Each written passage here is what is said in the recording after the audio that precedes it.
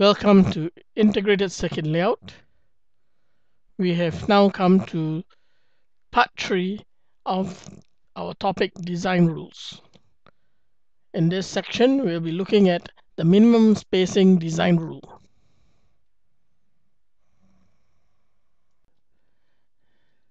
Then the spacing rule.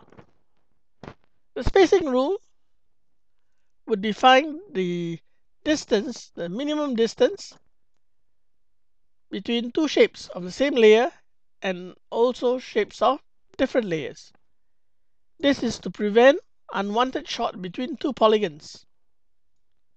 Alright, so let's illustrate this again. Okay, this uh, we have two polygons on the same layer and uh, they are spaced out such that they meet the minimum spacing rule. Now again, the we could uh, we, we want to we want to draw the the polygon such that it violates the spacing rule. So using our CAD tool, we will be able to do that. So let's have the two polygons and now let's move the other polygon much closer than the minimum spacing rule. Okay, so the here you have a violation.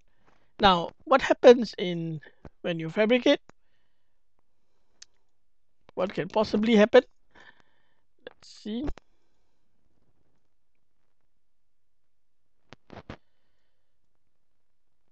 Okay, so when you fabricate, because the spacing is too close, the due to maybe mask misalignment, then you could have the two shapes the merging as shown here. All right so the the, the probable the result of not following uh, the minimum spacing rule would be would result in the merging of polygons or a short. In another instance of the, the where the minimum spacing rule is violated the, in this particular example, we show you two polygons of different layer. Here you have a diffusion and here you have a polysilicon. Uh, as shown in this diagram correctly, these two polygons are separated by the correct spacing.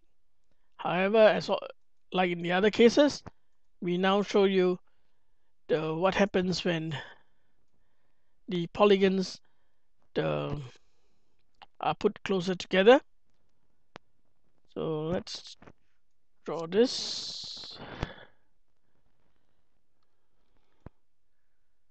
Copy this.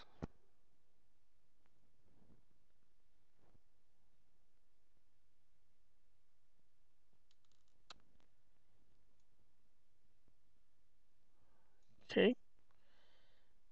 And now in this instance, I'll move the diffusion polygon closer to the the polysilicon such that the minimum spacing rule is violated. Now again this is drawn in using the CAD tool and it is always which is always possible. So let's watch what happens if we send this the layout for fabrication.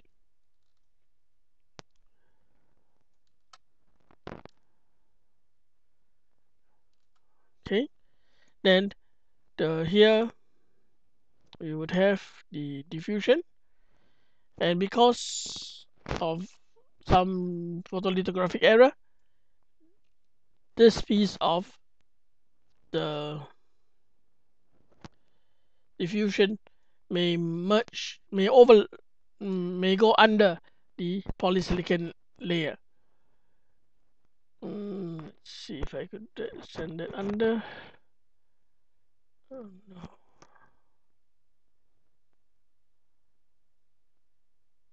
I can't send it under. Okay. All right. So the let me see. Oh.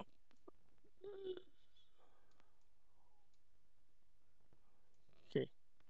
we have a diffusion and then the polysilicon which is the top layer so the diffusion layer is now under the polysilicon layer. So what results? Whenever poly goes over diffusion the